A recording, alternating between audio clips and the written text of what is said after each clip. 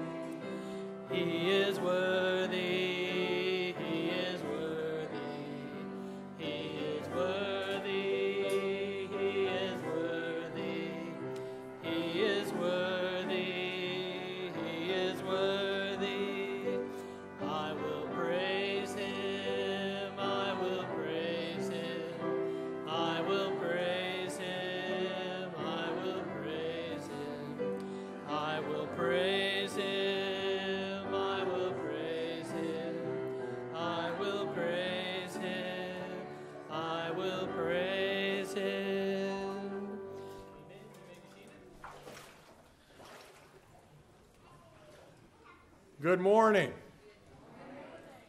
Oh, let's try that again. Good morning. We welcome you to our service this morning here at uh, Beulah Baptist Church. We're so glad that all of you could be here on this March, uh, spring, winter, summer, whatever it is. Uh, it's good for you to be here. We, we love having you here. And so we hope that you're blessed as a result of the service today. There's little blue cards in the pew racks. If you're a newcomer, please uh, fill out one of those and put it in the offering plate when it comes by a little bit later in the service. But we've got a baptismal service here right off the bat uh, after we pray, and then we have other things lined up as well. So we hope that you are blessed, that you are drawn closer to Christ, uh, that you are able to dig deeper into His Word as a result of being here today. So let's commit this time to God in prayer. Heavenly Father, we thank you so much for this day that you've given us. Father, we thank you for the warmth of this building. We thank you for the warmth of the fellowship. And Father, we pray that every aspect of this service this morning would bring glory and honor to the name of our Lord Jesus Christ. Father, He is the reason we're here because we, many of us, have been saved by His blood. We've been born again, and now we are His disciples, following after Him and learning the things that He would have us to embrace. So we pray this morning, Father, that in the singing, in the fellowship, the proclamation of your word, that all of these things would just point us away from ourselves and point us away from this fallen world in which we live, and that we would focus upon Christ and then have a renewed purpose and a renewed outlook for ministry as, as we go out into the world. Father, bless us now, guide us in all that we do, and we'll give you the glory and the honor for everything that's accomplished here. For it's in the name of Jesus, our Lord and our Savior that we ask it. Amen.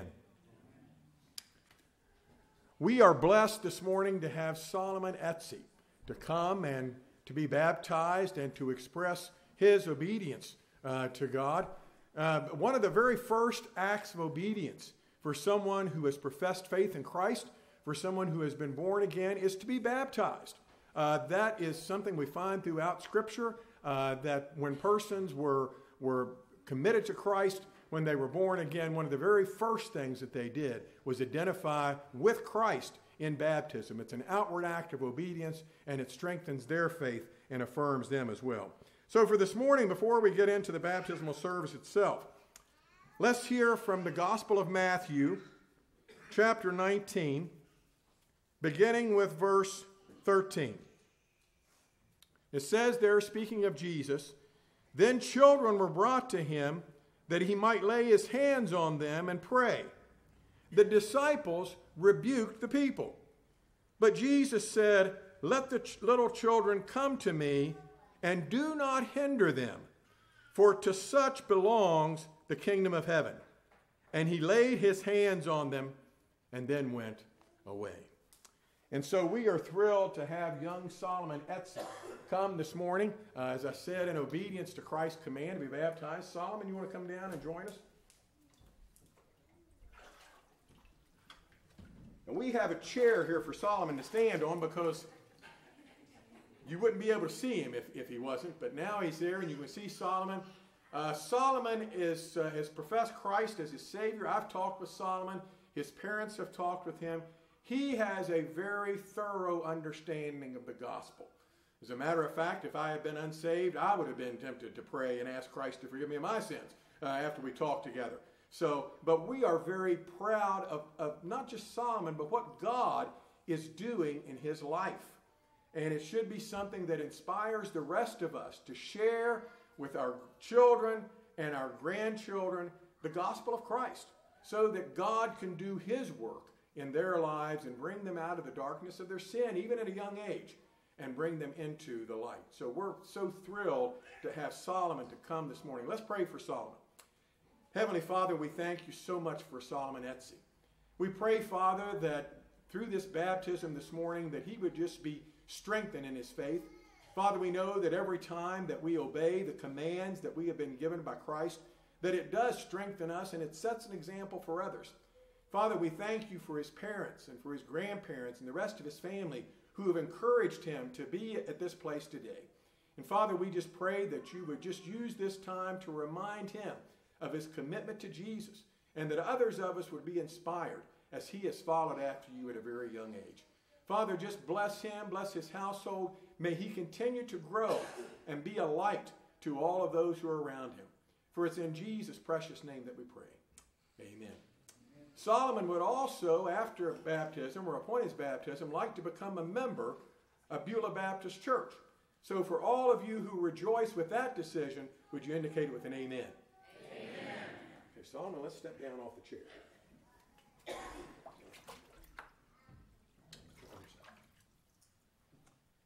In obedience to the divine command of our Lord and Savior Jesus Christ, and upon your profession of faith in him, I baptize you, Solomon Etzi, into the name of the Father, and of the Son, and of the Holy Spirit. Amen. Buried with him in baptism, raised to walk in newness of life.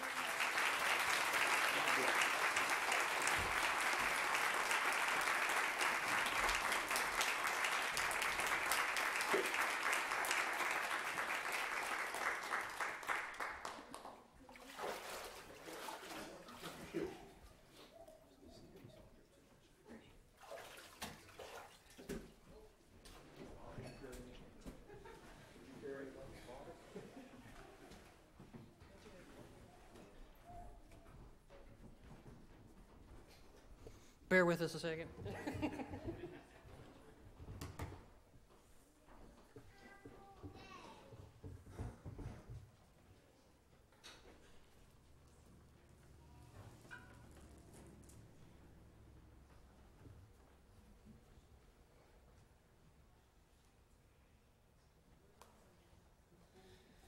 Isn't technology wonderful? Tell you want to be quick.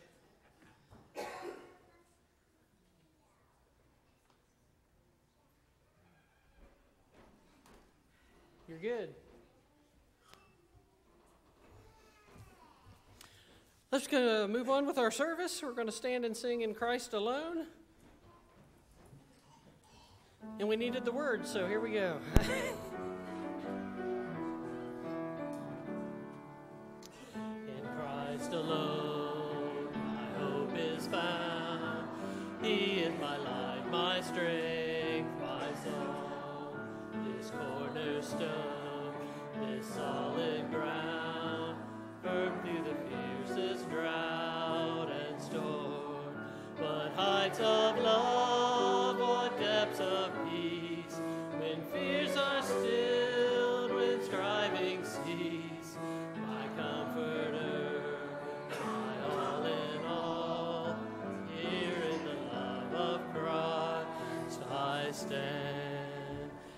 You may be seated.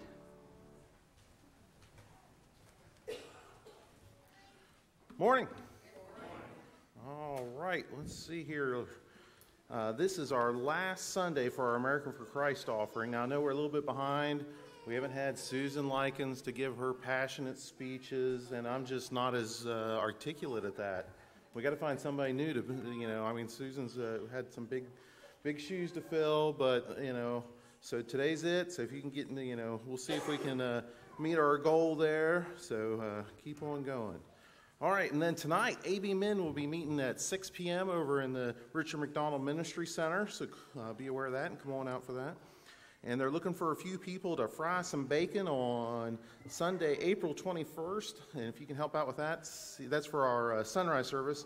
So if you can help with that, see Frankie or Pam there. And then, okay, here's this one. I messed this one up pretty bad in early service.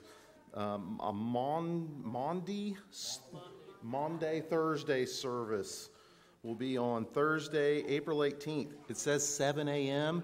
It means 7 p.m. though. If you want to come out at 7 a.m., hey, I'm sure Pastor will be happy to come with you too. See, he's back there in the back. But anyway, it's 7 p.m. There's going to be a special uh, music, a short message, and Lord's Supper that, that evening on that. So come on out for that. And then if you look at your insert there, let's see here. We've got all of the April activities listed there and our, spe- our Easter services and everything going on there. And then also the Camp Cowen schedule is listed there. Now, we've got those forms on the back table. And uh, don't forget that uh, the church is going to take care of uh, the fees for uh, all our members. And uh, any of the kids that go, they can take a friend with them. Uh, and we'll, we'll also pay for that friend to go. So be ready with that. Oh, and also on the back table, guess what? April is here already. Be nice with your jokes tomorrow on all your friends on April Fool's Day. Remember, that's a National Atheist Day. You know, the, the one that verse in the uh, Psalms that says, you know, only the fool says there is no God. So, National Atheist Day tomorrow. So, be ready for that. All right. Let's see here. Uh, that and that. I had a whole slew of pictures. Let me. Where's my picture guide? All right, here we go. My notes on the on the pictures that we had here. Of course, you're not going to work now. Come on, here we go. Okay, wait a minute. No, not that one. All right, here we go. All right, this first one, Jacinda again. She's moved on from soccer to track, and she's uh, doing this four by 100 team. Now it's almost a Beulah team because they got Jacinda, uh, Jaden Blackhurst, and Josie Grass on there. So the four of them are doing really well with that. So be sure to encourage them with that. And uh, Becky Lake is the I think the girls' coach there. So uh, it's an all Beulah thing going on there. So be sure to tell them good job and wish them well. And then Matt Hawley, he, you know, remember we had the one thing where he was doing all the stuff uh, where he got promoted to sergeant. Well, he also made the, the papers there again with uh, all the, the work he's doing with the, the canine units there.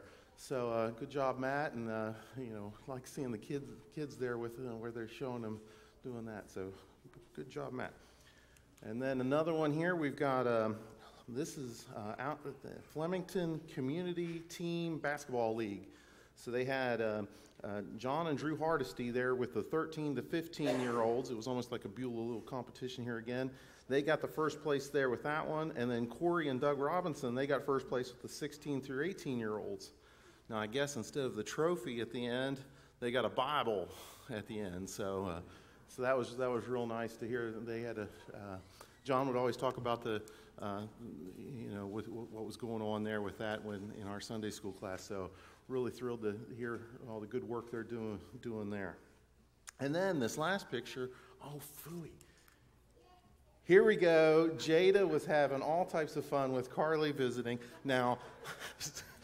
Now, when she posted this one on, on Facebook, they were talking about, notice the ornery looks on both the kids' faces as their parents are both asleep there. So, and I did comment on there and say, you know, hey, that's going to be the one we're going to show. And uh, Jada, you know, gave me a thumbs up on that. So she is excited for this to be up. And, uh, but Carly made it back safe. Uh, and we're thrilled. We're looking forward to hearing hearing about that trip. And just make sure to keep Jada in your prayers as as uh, they're continuing on here with uh, uh her mission trip. So.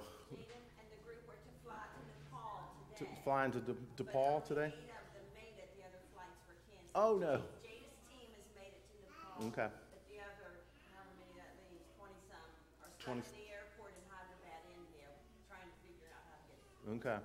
So they're kind of divvied up there, so definitely keep them in your prayers. And uh, it's what a wonderful opportunity this has been for them. So really looking forward to uh, just continuing Jada's trip and hearing when she gets back. So August, right, when she gets back? Okay. All right, so birthdays. We've got uh, Janice DeVault, Jaden Blackhurst, Linda Bell, and Leah Devert. And then anniversaries, we got Jeff and Becky Kittle and Terry and Kay Mayfield. So happy birthday, happy anniversary, everybody on there.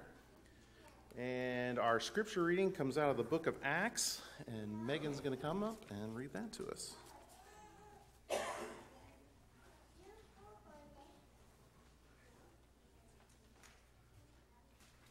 Good morning. Good Uh, today we'll be reading out of Acts 17 1 through 12. When Paul and his companions passed through Amphipolis and Apollonia, they came to Thessalonica, where there was a Jewish synagogue.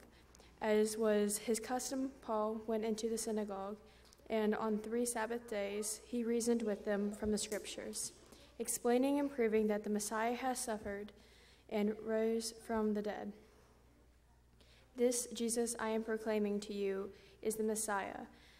Uh, he said, Some of the Jews were persuaded and joined Paul and Silas, as did a large number of God fearing Greeks and quite a few prominent women. But other Jews were jealous, and so they rounded up some bad characters from the marketplace and formed a mob and started a riot in the city. They rushed into Jason's house in search of Paul and Silas in order to bring them out to the crowd. But when they did not find them, they dragged Jason and the other believers before the city officials, shouting, These men who have caused trouble all over the world have now come here, and Jason has welcomed them into his house. They are defying Caesar's decrees, saying that there is another king, one called Jesus. When they heard this, the crowd and city officials were thrown into turmoil. Then they made Jason and the other others post bond and let them go. As soon as it was night, the believers sent Paul and Silas away to Berea. On arriving there, they went into the Jewish synagogue. Now the Berean Jews were of more noble character than those in Thessalonica, for they received the, mes- the message with great eagerness and examined the scriptures every day to see if what Paul said was true. As a result of many, they, many of them believed, as did also a number of prominent Greek women and many Greek men.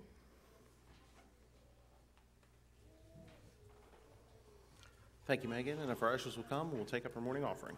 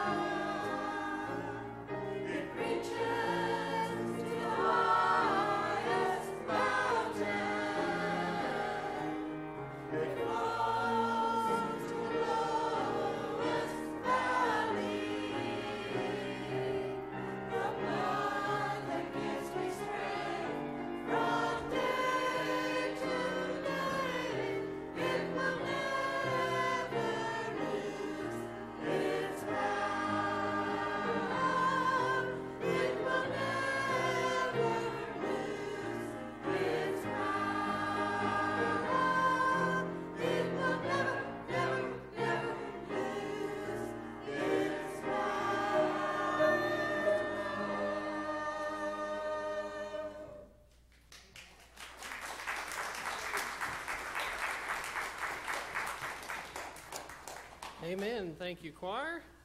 I have a question for you, real quick, before we go to our hymn. How many of you sitting in here are men? I know it can be confusing in society today, but raise your hands if you're a man. Now, if you're not raising your hand, I'm concerned about a lot of you. Anyways, the men are going to meet tonight. If you've never come out for a men's meeting, we would love to have you come out. We have fellowship and food, and we study the Bible. And the good thing about the men's meeting, this is going to get me in trouble, but I'm going to say it. When you come out to the men's meeting, you're allowed to have your own opinion because your wife's not there. Just saying. It's true, it's true. I was at a funeral yesterday, and my uncle sat down beside my dad, and his wife told him, um, We're going to sit down here. He said, he said See, I, I forgot to ask before I sat. So, see? but in all seriousness, you can look around and see we normally have about 12 men come to our meetings. Now, there's four or five times that in here, folks, and we would love to have you come out and join us for the men's meeting tonight. From 6 to usually around 8, and sometimes we go long, but you're allowed to leave anytime you want to. So, come and join us. Let's take our hymnals now and turn to 485 revive us again, and we'll go ahead and let the kids go downstairs for junior church. 485. Stand as we sing.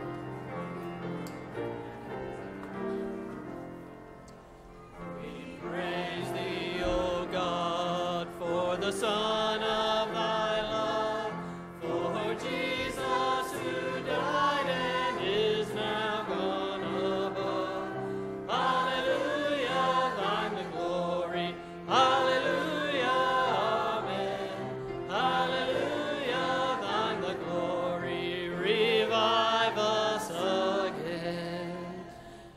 plays the next verse, we'll let the choir go down and you get around and greet one another this morning.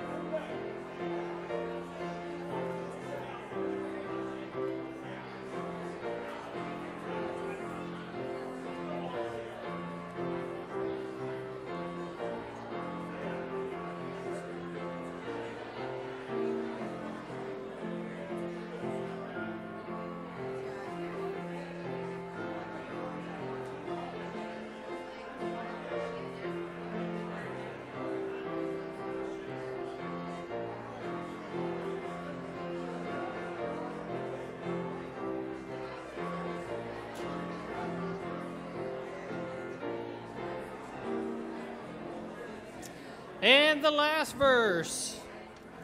Revive us again, fill each heart with thy love. May each soul be rekindled with fire from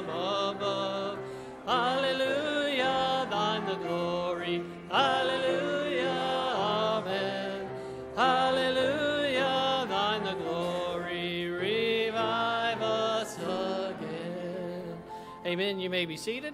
And real quick, since uh, we have several visitors here today, I thought I better rectify the fact that our women know that I pick on our women, but I'll be the first to say that the church could not function without the women, and we love them very, very much.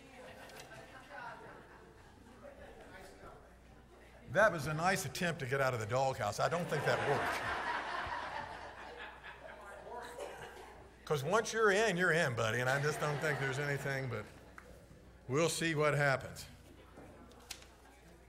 I was sitting down there, and Jonathan said that, and I thought, oh no, it's just, he's just not worried about the church, worried about Jonathan and all the, the problems he may have. So, but, uh, but regardless, we come to our prayer time now. Uh, and I got a lot of uh, requests uh, uh, that are in the bulletin, as always. Uh, and so be sure to look over those. We try to keep those updated, but sometimes we, we don't do that well. Uh, and so if you see a name on there that needs to be taken off, especially if you ask for somebody to be pl- placed in the prayer list and they've already recovered, that sort of thing, let me know. Uh, and I'll do my best to get that information to Pam Slayton or let Jonathan know. Uh, and we'll get that to her. We'll try to keep that as current uh, as uh, possible. So we've got all those requests uh, that need our prayers. And then we just want to pray for one another. Uh, there's nothing like the interaction and the fellowship of God's people to strengthen our spirits as, as followers of Christ. But there's been a lot of trials in our congregation. It goes beyond sickness. Uh, there's sickness, there's bereavement, and there's other trials as well. So let's just pray for one another.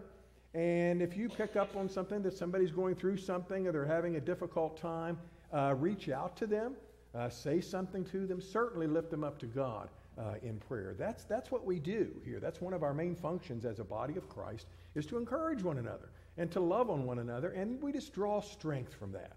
Uh, so make sure that you pray for those who are going through various kinds of trials, and I'm not going to start listing them or anything like that. So, but let's just just pray uh, for those folks. Many of you know different situations in the congregation where people are facing various kinds of obstacles or challenges.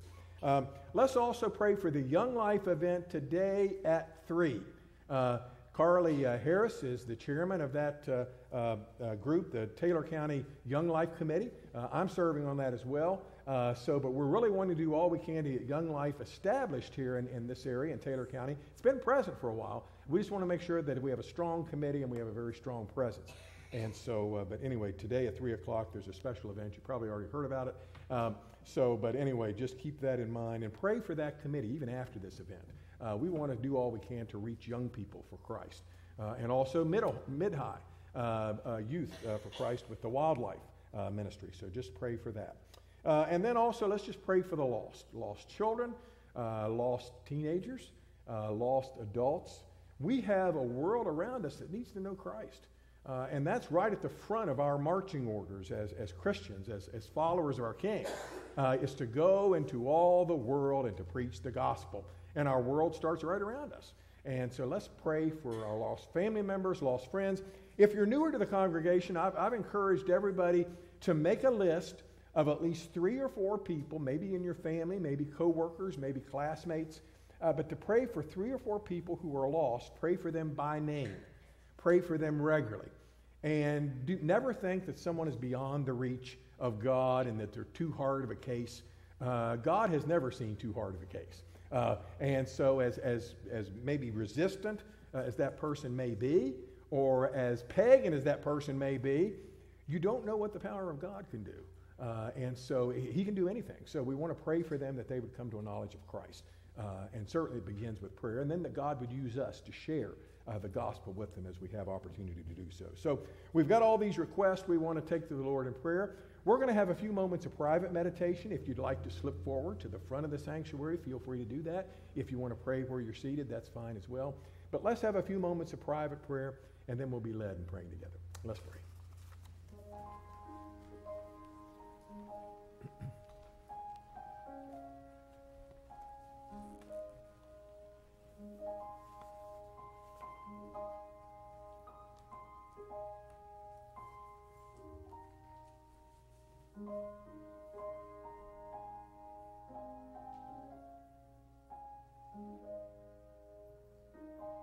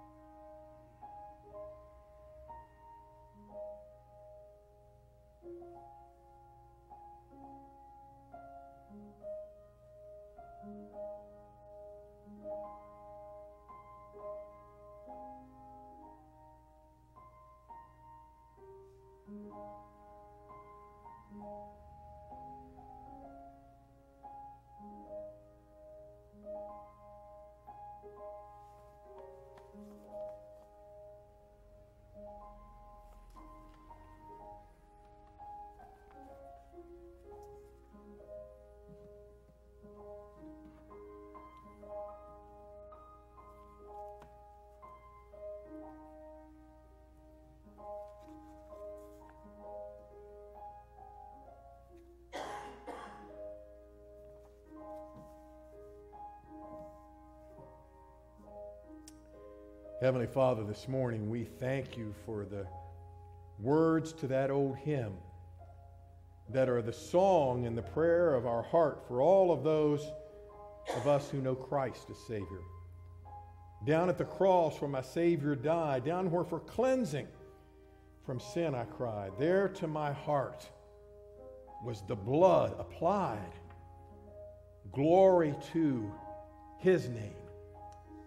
And Father, as we gather here this morning, that's, that's our attitude. That's, that's our prayer. That's our motto. Glory to his name for all that he's done for us, of bringing us out of the darkness and the, and the depth of sin, and giving us new life, and setting us on a higher plane and, and on a course to heaven when we leave this world.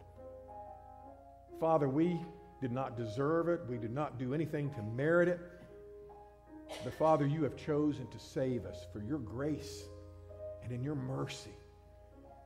And Father, this morning our hearts are full. Even though circumstances may surround us and problems may plague us, and it seems like the things are pressing in from every side, our names are written in the Lamb's book of life, and He has chosen to show mercy to us when there was no obligation to do so. Father, may we always look back to the cross. When we are suffering, when we are tri- going through trials and hardship, May we remember him who suffered for us and the pain that he experienced and the opposition that was his and the death that he died and the great love that you have shown to us through that death on the cross. And Father, we thank you he didn't stay in the grave, but on the third day he was raised from the dead and now lives forever and gives us new life as we look to him and rest in him for our salvation. Father, we pray this morning that you administer to all those on our prayer list. Father, we have so many that are ill and that are dealing with bereavement or other situations. You know their, their, their lives, you know their, their hearts and, and their, their, their life stories, and so minister to them as only you can do. And use us here at Beulah as a part of a loving, encouraging family that helps them to follow after Jesus. Father, we pray this morning that you would minister to the Young Life uh, program that, that's becoming even more established here in Taylor County. We thank you for the efforts of those who are seeking to reach youth where they are and to reach them on a, on a neutral ground and then to bring them to Christ and to plug them into churches. Father, we pray that you would guide those who are part of that and work through them. And we've seen the young people who have served in that and the way that, that your Spirit has touched their lives and moved through them to bless others. Father, we pray that you would minister to, uh, to just the lost in our lives. Those three or four folks that we're praying for by name, we ask that you would convict them. May you just impress the truth of the gospel on their hearts and minds. Draw them out of their sin and give them a new life in Christ. Father, we pray that you'd use us as a part of that process, and may we always be willing to share. May we always be willing and ready to give an answer for what we believe. Father, we pray that you'd forgive us of our sins for the times when we get caught up and distracted by other things and, and, and wrapped up in the temporal things of this life rather than the things of the life to come. Father, may we understand that our citizenship is not in this world, our citizenship is in heaven and our hearts and minds are to be rooted there as we interact with people around us. Father, guide us now as we open up your word. May it speak to our hearts. May it enlighten our, our minds. May it, may it just empower our wills. Father, we pray for our leaders that you would guide them. We pray for local leaders and national and, and international leaders. Father, guide them in the way that you'd have them to go. Father, bless us here now this morning as we seek to honor you and dig into your word and apply it to our hearts. For it's in Christ's precious and holy name that we pray. Amen. Acts chapter 17 is the passage for this morning, if you haven't already turned there. And I tell you, it's just hard to find good deacons nowadays. Um, Bob Withers was back there, and he was helping with the baptism. And, and so after everything was finished and little Matthew uh, or little uh, Solomon got out, Matthew was there to, to get him. And, and so Matthew was, or uh, Solomon was all wet and, and he didn't know exactly what to do. Matthew just said, Well, I'll, I'll carry you. And so his dad carried him back into the room. And I looked at Bob and I was all wet too. I said, Bob, would you carry me? And he just looked at me. I had to walk myself all the way back to the changing room when somebody else got carried. So, but uh, anyway. Uh, that's, that's the way it goes. Um, as, as many of you know, um, last year, Jeannie and I were doing our best to make a move from South Fairmont to, to Grafton. Um, we loved the people of Beulah. We just wanted to be closer. And after months of one struggle after another, after another, after another, to sell our house and to purchase a house in Taylor County, we finally became convinced that it just wasn't God's time for it to happen. And so, one of the huge benefits now, as a result of us still living where we were living, uh, of spending more time driving, is my ability to listen to Christian audiobooks and podcasts. I just devour those things. I don't listen much to the news, and I've shared with you folks my frustration with the news. I'll watch the news a little bit, and then I get turned off, or I get upset, and I get in a grumpy mood, and I don't want to be grumpy, and so I just turn from that and I turn back to Scripture. So I really don't listen to a lot of music. I listen to it occasionally, Christian music, but I really enjoy learning and growing spiritually by listening to theologians and preachers and teachers. So, my little Subaru Forester has become another place to study and to learn about the scriptures as they pertain to life in 2019. Each one of us who has been saved is now a disciple of Jesus Christ. And a disciple means more than just wearing a name, it means more than just calling yourself Christian. A disciple is not just one who is eager to follow his master, but one who is eager to learn from his master.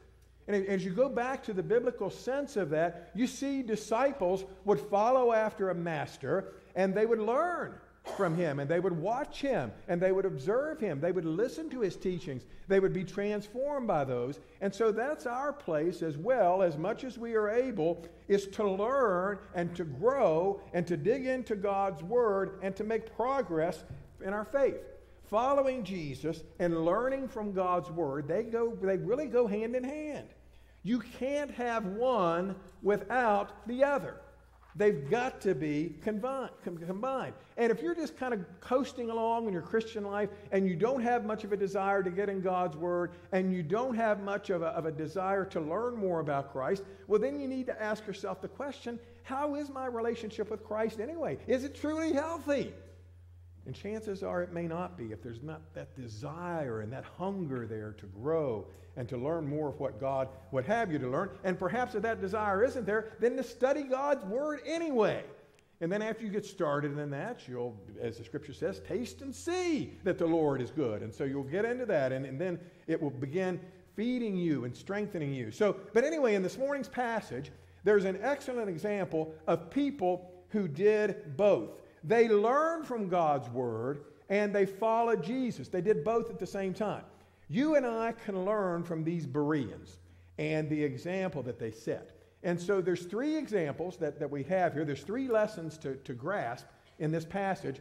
And there's so much to say that I can't cover it all in one message. So I'm going to do the first point today, the first lesson from, from the Bereans today, and then we'll cover the next two next Sunday.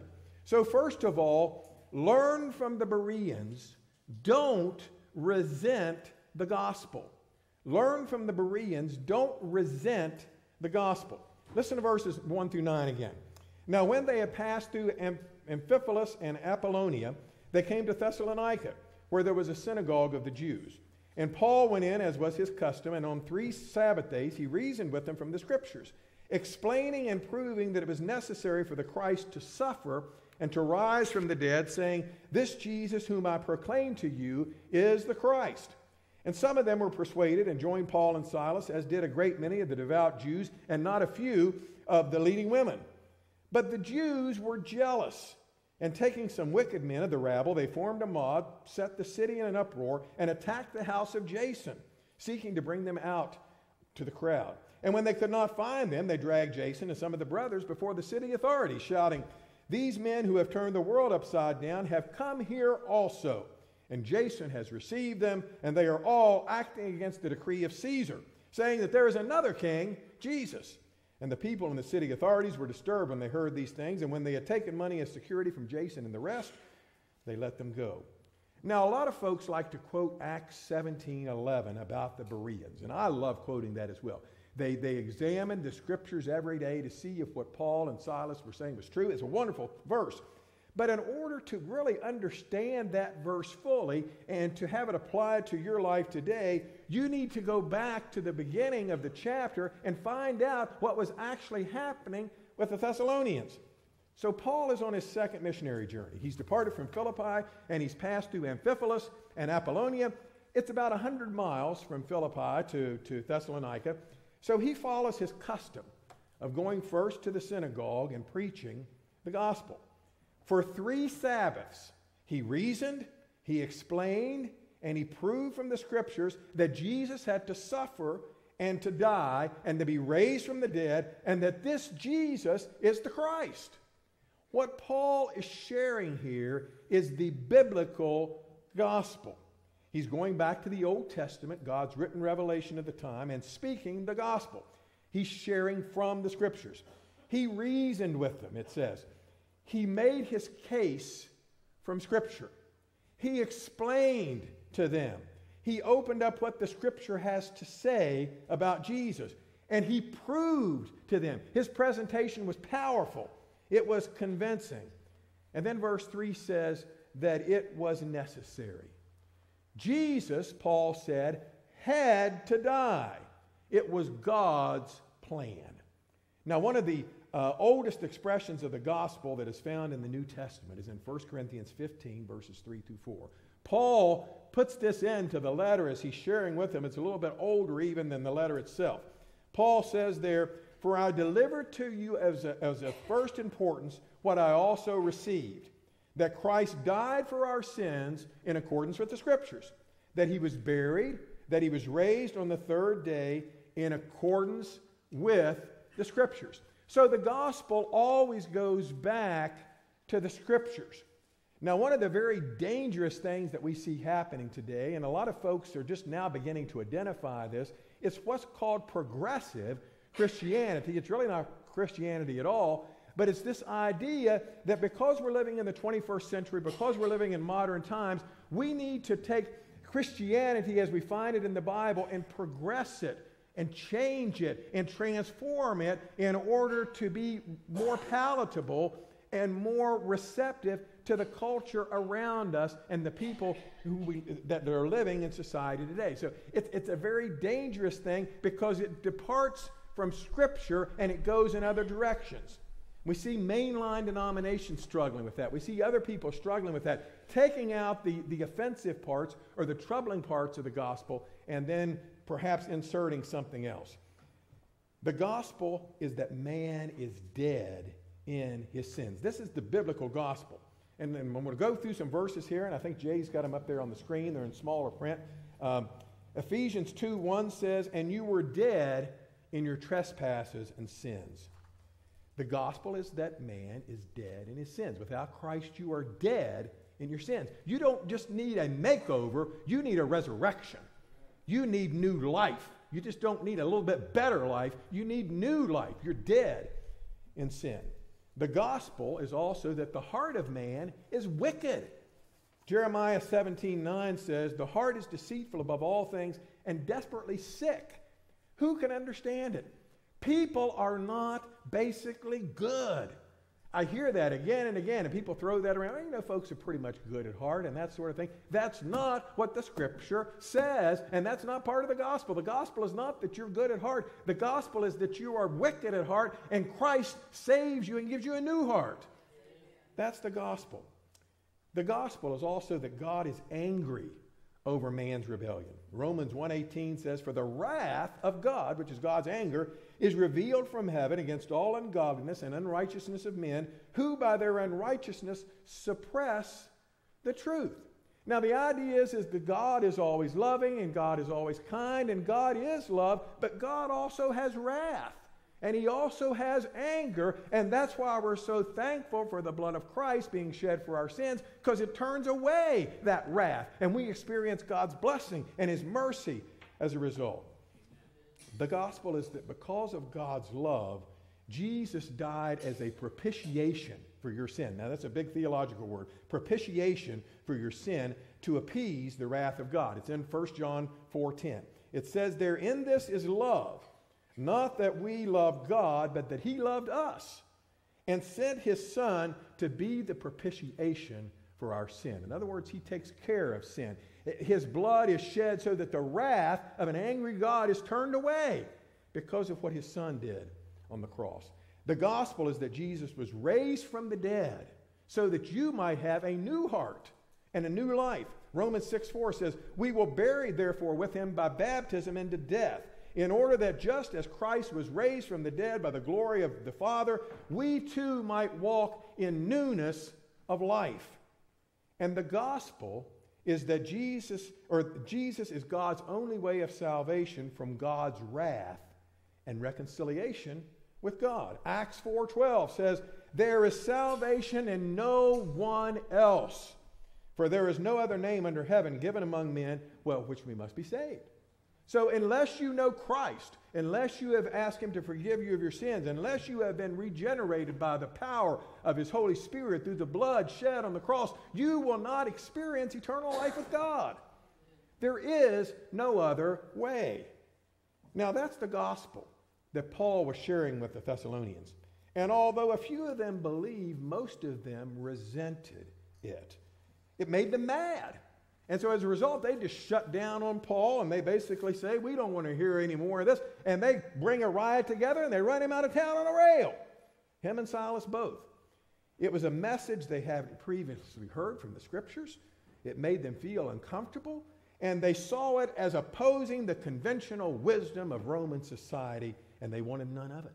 Caesar was the only Lord, and, and this Jesus as Lord business contradicted the, the political correctness of the day. So the Jews of Thessalonica didn't just reject the message, they resented the message. They're jealous, they're angry, and they seek to make these proclaimers of this strange new message pay dearly. They incite a mob, they start a riot, and they say all kinds of slanderous things that twist the gospel. Jason was probably, Jason is mentioned here. Jason was probably a convert who had been hosting them in his house. But by the time the mob reached them, apparently word had already reached Paul and Silas that the mob was coming, so they were gone. So they dragged Jason before the authorities. And they throw all kinds of accusations against him of being an enemy of society and an enemy of Caesar. And finally, the authorities calmed things down and they let him go. And the money that was taken from Jason was probably something similar to bond. Uh, money that would be lost if Paul and Silas ever showed their faces again and they ever stirred up trouble again as they had already done. So the first lesson is here don't respond to the gospel the way these Thessalonians did. Now, their response is not unusual, their response is common. That's the way that sinful man and a sinful heart and a sinful mind responds to the gospel today. That's why the Bereans were of more noble character because they were a cut above. They were unusual, but the Thessalonians were it was a usual response. So when you hear that you're dead in your sins, that's not a pleasant thing to hear. You don't want to hear that. You think, well, I'm very much alive. Thank you. I, I don't want to really hear that. It doesn't stroke your ego at all. When you hear that your heart is wicked, that runs contrary to your self pride. Well, you know, I, I, think I'm a pretty good person. I do a lot of things. I help out my family. I'm a good provider. I try to be a good father, a good grandfather, whatever it may be. When you hear that God is angry and he's wrathful over your rebellion, that's not likely the kind of God that you had in mind because he's more of a very gentle type of person, kind of laid back, whatever you want to do that's just okay. Don't really worry about it. Sin's not that big of a deal. But that's not the biblical understanding of God. And when you hear that God, in love and mercy, offered his son to die to appease his own wrath and anger towards you, that likely seems kind of barbaric. And that's, that's kind of ancient. And it really doesn't apply to us anymore because we're more sophisticated than that. But that's the biblical gospel. And when you hear that Jesus has been raised from the dead and that it's only through his death and resurrection that you can have a new heart and life and fellowship with God, it's offensive to all the other religious schemes that you may have in mind to obtain God's favor. And it's certainly not respecting of those who follow other religions to say that you're wrong and Christ is right, but that's what the gospel says. The truth, however, is that it is all from the scripture. Paul made his case from scripture. The genuine gospel, when you hear it today, is based in Scripture. And so, as I mentioned earlier, there are many false gospels that pick and choose Bible verses and oftentimes just omit Bible verses if they, if they even use any Bible verses at all. But the biblical gospel is offensive when it's first heard. Paul says in 1 Corinthians 1 23 through 24, We preach Christ crucified, a stumbling block to Jews and folly to Gentiles, but those who are called, both Jews and Greeks, Christ the power of God and the wisdom of God. Now, it's important to understand that the religion of these Thessalonians was a very comfortable, convenient thing. They, they were very much in, in a rut uh, here in Thessalonica. They'd been meeting in the synagogue perhaps for a long time. They'd been going Sabbath day after Sabbath day, and uh, they'd not heard the gospel, but they were just hearing from Scripture, that sort of thing. They were hearing other things. They had a comfortable, convenient relationship with Rome and with all society, and, and they were going to church. They were doing their own thing. They were being careful to acknowledge Caesar as the only Lord. They were certainly fitting in with all the conventional wisdom and everything society would tell them to do. Caesar was the true king for them, and there was no one above him. Then Paul and Silas show up. And they're in the synagogue, and they begin saying things and preaching a message that makes them feel uncomfortable. The message of Christ as Lord contradicted the conventional wisdom that Caesar was Lord. And you could pretty much do whatever you wanted to do as long as you acknowledged Caesar was Lord. Here, Paul and Silas are saying Christ is Lord of all when Paul and Silas were preaching and, and, and, and, what they were promoting, it was not convenient. It was not comforting. And it certainly was not politically correct. But that's the nature of the biblical gospel. Paul and Silas were, were raining on their parade of political or of, of, of uh, piety, so to speak. But rather than going back to the scriptures, these Thessalonians, rather than going back to see if what they were saying might actually be true, they became angry, they started a riot, and they wanted nothing else to do with Paul and Silas. Now, sadly, what was true of the Thessalonians then is true of many people in churches and in society today. They've never really heard the biblical gospel. Or if they've heard the biblical gospel, they resent it and they want nothing else to do with it. They've heard of God's love, they've heard of God's blessings, They've heard of God's heaven, but those things alone are not the gospel. So when many people hear of the depth and the extent and the awfulness of sin and the wickedness of every man's heart and the holiness of God and God's wrath towards sin, they immediately shut down. I don't want to hear anything like that. I want something more positive. And when folks hear of God's Son Jesus being offered as a bloody sacrifice to turn away God's wrath, that there's nothing you can do to save yourself, that it's only through hearing and believing the gospel that you can be saved from hell, they turn away. But that's the very nature of the biblical gospel. That you've been dead in your sin, that you're under the wrath of, of, of, of a God because of your sin, and that the only way that you can be saved is through his mercy and through the blood of Christ that was shed on the cross for your sin. That is good news. But it's the gospel, it's the biblical gospel. So the point is when you hear, or when your friends hear, strange things today that most megachurch pastors don't say, or that most mainline churches don't proclaim, or that most Christian authors don't promote, don't just shut down and, and tune out. That's what the Thessalonians did. And they were not commended for it. That's the temptation. Instead, go back to the scripture and see whether or not those things that are being proclaimed as a biblical gospel are actually there. And then if you find them there, then your choice is whether you're going to believe God's word or whether you're going to believe the, the creations of a man's mind. The gospel is good news, but you can't comprehend good news if you first don't understand the horrible, awful reality that exists in your own life. It's through the scripture that God reveals the reality of sin and salvation, so go back to them and search them. The truth that you will find here will not be comforting at first, it's convicting.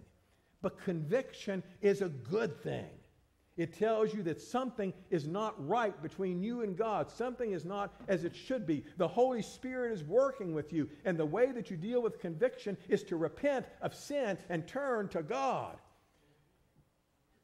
It will not be convenient. And certainly will not be in line with conventional wisdom and political correctness. It contradicts those. Jesus says in John 8 31 through 32, If you abide in my word, if you abide in my word, you are truly my disciples. And listen to this, and you will know the truth. Not just what a lot of people are saying or not what a lot of people are promoting. You will know the truth from the scriptures, and the truth will set you free. Paul and Silas were preaching the truth here in Thessalonica. They were preaching the gospel. And so the first lesson to learn from the Bereans is not to resent it. The Bereans didn't resent it, but the Thessalonians did. Paul says in Romans 1:16 of this same gospel message. He says, "For I am not ashamed of the gospel, for it is the power of God to salvation to everyone who believes, to the Jew first, and also to the Greek." One Bible teacher summarized what the gospel means for you and me in this way. And just about every time I read these words or I speak them, I have I'm just very moved by them. Once I was free in the shackles of sin, free to be tempted, but bound to give in, free to be captive to any desire, free to eternally burn in hell's fire, till someone bought me and called me his slave. Bound by commands, I am free to obey. Captive by beauty, I'm free to adore. Sentenced to sit at his feet evermore. That's the gospel bringing you out of sin and bringing you into right relationship with God. That's what Christ has accomplished on the cross for you. So don't turn from the truth of the gospel this morning. When you read it in Scripture, when you hear it proclaimed, turn to Christ and what he has done for you by his death on the cross and his resurrection on the third day according to the Scriptures. Let's pray. Heavenly Father, we thank you for the power of the gospel. And Father, may we never be ashamed of it. May we never seek to, to back away from it. And, and, and heaven help us if we seek to modify it or change it or alter it so that folks around us will be a little bit more pleased with it or find it more palatable in, in their own lives. Father, may we be true to your word and may we, may we present it and proclaim it with all of its glory and with all of its power. And Father, we thank you for the salvation that we have in Christ. Many of us here have been born again. We thank you for that, that truth that Christ died for our sins, and He's still continuing to transform us as we follow after him, as we study his word, as we spend time together in prayer, as we gather together with other believers, we're growing, we're maturing in our faith. So, Father, may we always have a desire to progress and learn more and grow more. May we never be content with the place in life where we are. And, Father, for those of us here who don't know Christ, if we've never been forgiven of our sins, may we turn from our sin. May we embrace the conviction of the Holy Spirit and say, Lord, I am a sinner. I do believe that Christ died for me on the cross, and He is the only way that I can be right with you. Father, may that be our prayer this morning. And then as this invitation hymn is sung, may those of us who need to make a first time decision, may we come forward. May others of us who need to rededicate, may we come as well if we've been shutting down on the gospel when it's been presented to us. And Father, for those of us here who may need to come into the membership of Beulah, Father, guide us in that way as well. Just, just just encourage us and motivate us and compel us to be obedient to you. Father, we love you. We praise you. We thank you for the glorious gift of the gospel that's been entrusted to each one of us. May we be faithful to share it with all of those around us. For it's in Jesus' name that we pray. Amen. Our hymn of invitation is number 249. Just as I am. We'll sing the first and the last verses. Let's stand as we sing.